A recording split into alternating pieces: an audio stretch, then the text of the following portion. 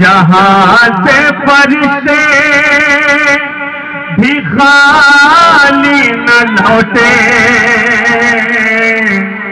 जहाँ से परिसे भी खाली